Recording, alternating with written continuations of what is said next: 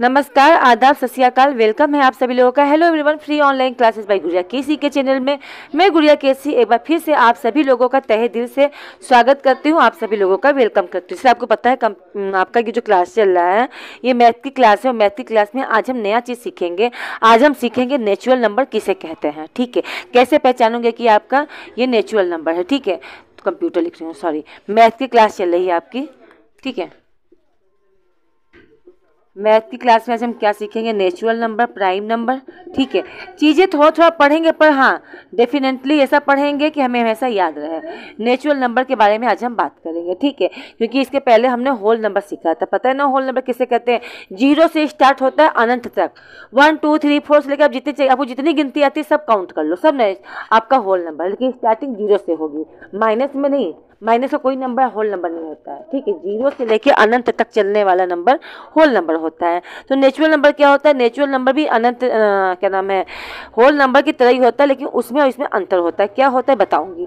अच्छा आपको पता है, जब भी मैं कोई क्लास स्टार्ट करती हूँ तो पहली पूछती हूँ। विदाउट पहली हम आगे नहीं बढ़ते। क्यों? क्योंकि क्लास को थोड़ा सा इंटरेस्टिंग बनाते हैं राइट क्योंकि क्लास थोड़ा सा इंटरेस्टिंग रहेगी तो आपको भी अच्छा लगेगा। ठीक है, जिसमें आपका माइंड भी लगेगा, और फिर हम क्लास भी पढ़ते रहेंगे, और साथ में पहली को भी सॉल्व करते रहेंगे। तो आज की पहली देख लो। आज की पहली क्या है? ठीक है? तो आज की पहली है आपकी पहेली यह है।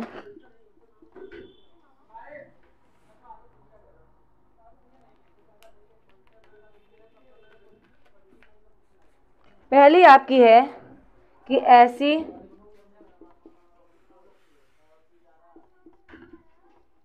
कौन सी चीज़ है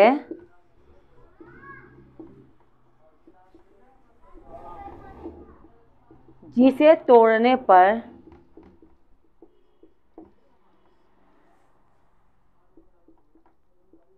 आवाज़ नहीं आती। सोचो, आवाज़ नहीं आती।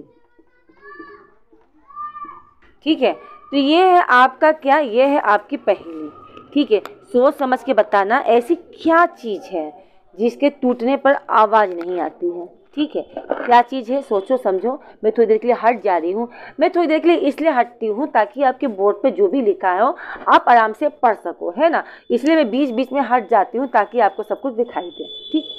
चलो, पहली समझ में आ गया, ऐसी कौन सी चीज़ है जिसके टूटने पर या जिसे तोड़ो तो आवाज़ नहीं आती। हम कुछ भी तोड़ेंगे, हल्की फुल्की आवाज़ आएगी, लेकिन उसमें बिल्कुल आवाज़ ही नहीं आती है। तो क्या चीज़ है, सोचो, समझो। इसका आंसर मैं भी क्लास के लास्ट में बताऊँगी, ठीक है? जब भी क्लास खत्म हो जाएगी तब। हम क्या पढ़ रहे हैं? तो हम पढ़ रहे हैं नेचुरल नंबर क्या कहते हैं नेचुरल नंबर क्या होता है? पहले जान लो, ठीक है? अगर ज़ीरो से स्टार्ट करें zero one two three four से लेकर सारे नंबर अनंत तक तो ये आपका होल नंबर है। तो नेचुरल नंबर क्या है? अच्छा भाई, ये तो आपका होल नंबर है। तो नेचुरल नंबर क्या है? नेचुरल नंबर भी यही है। इसमें क्या अंतर है? इसमें ज़ीरो से स्टार्ट होता है। लेकिन नेचुरल नंबर में आपका one two three four five six seven eight लेके अनंत तक, जो काउंट न किया जाए अनकाउंटेबल होता है, ठीक है? वो सब आपके क्या है? नेचुरल नंबर आया समझ में? नेचुरल नंबर और होल नंबर में इतना ही अंतर है। नेचुरल नंबर वो हर नंबर ज़ीरो को छोड़ के ज़ीरो को छोड़ के हर पॉजिटिव नंबर आपका नेचुरल नंबर है। आया समझ में? और ज़ीरो भी साथ में ले लोगे तो वो आपका होल नंबर है। ज़ीरो इंक्लूड हो गया तो होल नंबर है और ज़ीरो को छोड़ कर सारे पॉजिटिव, ठीक है, नंबर क्या होंगे आपके? Natural number. क्लियर है? अब थोड़ा सा मैं इसका डिफिनेशन लिखवा दूँ, है ना? हिंदी में समझा दे रही हूँ और इंग्लिश में लिखवा दे रही हूँ। आपको पता है कि मैं क्लास में अक्सर इंग्लिश में लिखवाती हूँ, पर हाँ समझाती मैं हिंदी में हूँ क्योंकि हमारी मातृभाषा क्या है? हिंदी है राइट आ जाओ देखो। आ, लिखो। The number that's the numbers that we use when marker नहीं चलना। When ठीक है। वी आर काउंटिंग ऑर्डरिंग क्या? ऑर्डरिंग जो ऑर्डर देता है वन टू थ्री फोर इस तरीके से अनंत तक नंबर ठीक है? होल नंबर ठीक है? ज़ीरो को छोड़ के, ठीक है? और नॉट ए डेसिमल और नॉट फ्रैक्शन ठीक है, ये आपका डिफिनेशन हुआ, मैं हट जा रही हूँ सर देख लो। क्या लिखा है? The number that we when we we are counting and ordering यानी गिनती जिसे गिनते हैं, है ना? जो गिनती हम अच्छा हम लोग सबसे गिनती गिनती है, या गिनती में सिखाया जाता है तो हम कहाँ सीखते हैं? One two three four five six है ना? क्या कभी ज़ीरो से बोलते हैं? Zero one two one two three four five six नहीं। हम स्टार्ट करते हैं वन टू तो वही बोल रहा है जो हमारा काउंटिंग होता है, जो हम गिनती गिनते हैं, या ऑर्डरिंग जो क्रम में होता है वन टू थ्री फोर ये सब क्या है? आपका नेचुरल नंबर है। और होल नंबर में आपका कहाँ से आ जाएगा? वन से स्टार्ट हो जाएगा। नॉट डेसिमल ये इसमें पॉइंट नहीं होता। नॉट फ्रैक्शन ये बट्टे वाला सवाल होता है ना, तीन बट्टा, दो, चार बट्टा छः ये वाले क्वेश्चन कभी भी आपका नेचुरल नंबर नहीं होगा। ठीक है? न तो होल नंबर होगा और न तो नेचुरल नंबर होगा। ठीक है? ज़ीरो जो होता है ना, वो आपकी पूर्ण संख्या होती है। ठीक है? क्या होता है ये? तो यह इंटीजर होता है जो ज़ीरो से बड़ा होता है। याद रखिए नेचुरल नंबर हमेशा ज़ीरो से बड़ा होगा। याद रखना ज़ीरो से बड़ा होगा। ठीक है। और इसमें एक से लेके लगातार इंक्रीजमेंट होती रहती। इंक्रीजमेंट मतलब बढ़ता रहता है। मतलब one two three four five six seven eight लेके अनंत तक गिनते गिनते जाओ। इंक्रीजमेंट कर लो तो वो आपका नेचुरल नंबर है। ठीक है। इसका यूज़ काउंटिंग के लिए किया जाता है भाई। जो बच्चों को बचपन से ही सिखाया जाता है। जब बच्चे एल के जी यू के जी में रहते हैं, तभी सिखाया जाता है। बच्चों गिना स्टार्ट करो। One two three four counting हमें हंड्रेड तक फाइव हंड्रेड तक वन थाउज़ेंड तक सिखाया जाता है। राइट तो वो आपका क्या है? नेचुरल नंबर है। ठीक है। लेकिन ज़ीरो नहीं। क्यों? क्योंकि ज़ीरो पूर्ण संख्या है। ज़ीरो क्या है? होल नंबर है। याद रखना होल नंबर आपका ज़ीरो है। ज़ीरो से स्टार्ट होता है। लेकिन यह प्राकृतिक संख्या नहीं है। कौन? आपका ज़ीरो। ज़ीरो क्या है? ज़ीरो आपका नेचुरल नंबर है। ऐसा ज़ीरो आपका वो, क्या कहते हैं? होल नंबर है। ठीक है? तो ये रहा आपकी डिफिनेशन किसकी? नेचुरल नंबर की। क्लियर है? अब हम पढ़ेंगे क्या? अब हम पढ़ेंगे प्राइम नंबर दोनों में क्लियर हो गया? होल नंबर क्या है? ज़ीरो से स्टार्ट और पूरा प्राकृतिक नंबर नेचुरल नंबर क्या है? One two three four five six zero को छोड़ के ज़ीरो से जो बड़ा है। आगे बढ़ते हैं prime number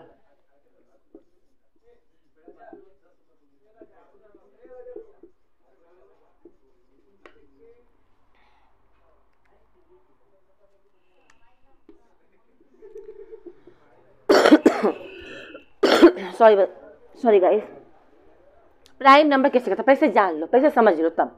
प्राइम नंबर वो नंबर होते हैं जो किसी के टेबल में आते ही नहीं है मतलब? वो सारे नंबर जो किसी के पहाड़ा में आता नहीं है। या तो वो खुद के पहाड़ा में आता है, या तो वो वन के पहाड़ा में आता है। तो भैया, जितना भी गिनती गिन लो, जितने का भी टेबल गिन लो, वन के टेबल में खुद आएगा।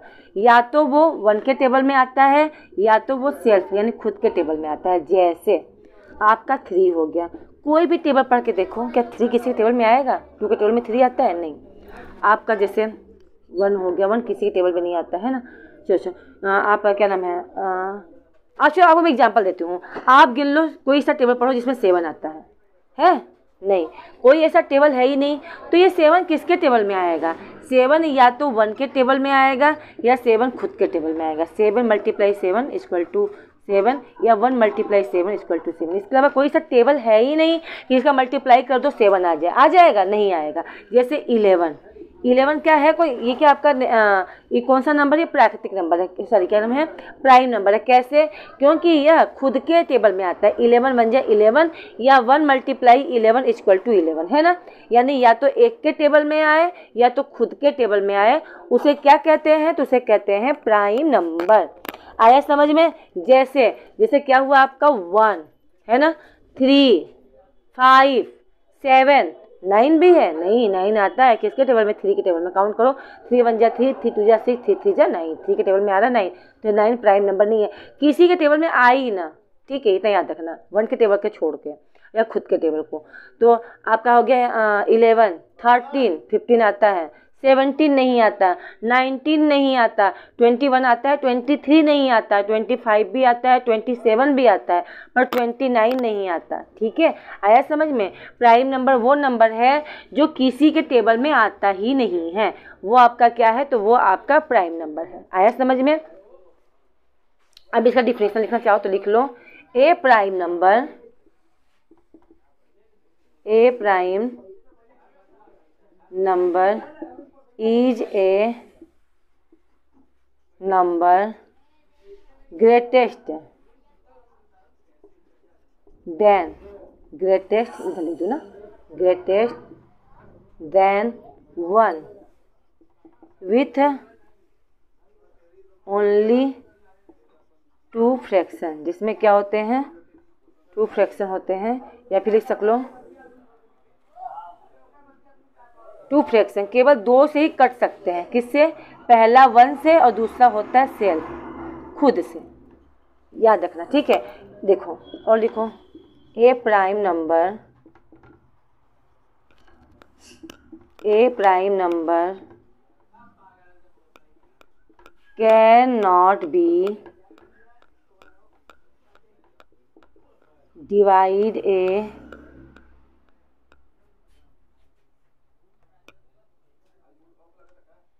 divide divide by divide by any other number without leaving a remainder ये वो नंबर है, अगर अगर आप डिवाइड भी करोगे तो रिमाइंडर ज़रूर बचेगा। ठीक है? जैसे एंड एग्ज़ाम्पल के रूप में लिख लो। एग्ज़ाम्पल के रूप में लिख लो थर्टीन तेरह क्या है? तेरह आपका प्राइम नंबर है। तेरह क्या है? तेरह आपका प्राइम नंबर है। कैसे? क्योंकि किसी के टेबल में आता ही नहीं है। आप काउंट करो, देखो। टू का टेबल देखो थ्री का टेबल देखो फोर का टेबल किसी का भी टेबल पढ़ लो। टेबल में आपके थर्टीन आएगा ही नहीं, ठीक है? क्या नहीं आएगा? थर्टीन नहीं आएगा। ठीक है? चलो, आया समझे आप चाहे तो लिख सकते हो कौन कौन से नंबर हैं? तो आप लिख सकते हो, जैसे कि आपका हो गया एग्ज़ाम्पल के रूप में लिख लो। वन टू थ्री ठीक है, मैं लिखवा दे रही पूरा नंबर लिखवा दे रही हूँ, ठीक है। एग्ज़ाम्पल लिख लो। वन थ्री फाइव सेवन ठीक है सेवन भी सेवन किसी टेबल में नहीं आता। नाइन नाइन आता है। इलेवन है। इलेवन किसी टेबल में आता है? काउंट करो, नहीं आएगा। आपका थर्टीन हो गया। ठीक है, आपका सेवनटीन हो गया, आपका नाइनटीन हो गया ट्वेंटी वन आता है ट्वेंटी टू भी आता है ट्वेंटी थ्री नहीं आता किसी के टेबल में ट्वेंटी सेवन आता है ट्वेंटी नाइन नहीं आता, ऐसे के बहुत सारे नंबर हैं जो किसी के टेबल में नहीं आते हैं, आया समझ में?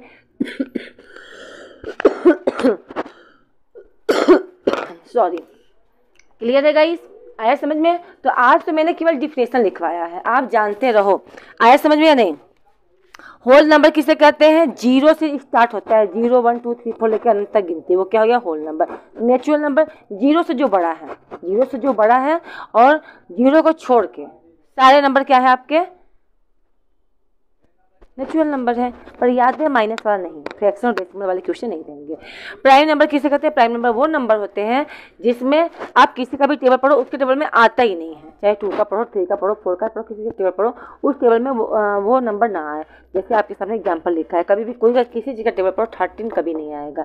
आप देखोगे सेवनटीन भी नहीं आता ठीक है? तो ये सब प्राइम नंबर है या तो ये खुद के टेबल में आते हैं या फिर अदर्स के टेबल में।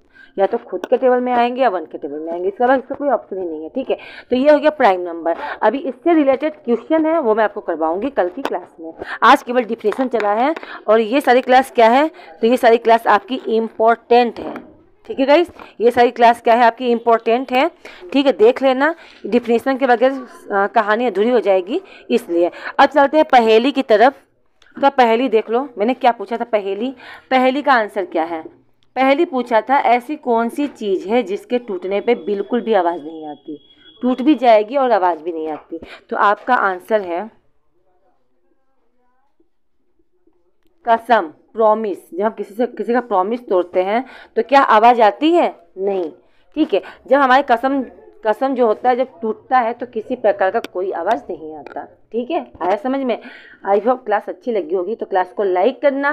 क्लास को एक बार अपने रिलेटिव वगैरह में सबको शेयर कर दो और सब्सक्राइब करो। ठीक है? अगर चैनल पर पहली बार हो तो सब्सक्राइब करो और लोगों से सब्सक्राइब करवाओ, क्योंकि अब मैं बहुत जल्दी स्टार्ट करने वाली हूँ स्पोकन आपकी स्पोकन की क्लास आने वाली है बहुत जल्दी। फ्यूचर टेंस चल रहा है, दो दिन की क्लास और है। जहाँ ये फ्यूचर टेंस खत्म हुआ, आपका टेंस स्टार्ट करूँगी और fact wise fact पढ़ाऊँगी। Fact one fact two fact three बहुत सारे फैक्ट है, बहुत सारी चीज़ें आपको पढ़ने को मिलेगा और बहुत मज़ा आएगा। तो आई होप आप लोगों को क्लास पसंद आ रही है। क्लास को लाइक मत करना, मत भूलना, मिलते हैं नेक्स्ट क्लास में। Okay bye bye with the question के साथ।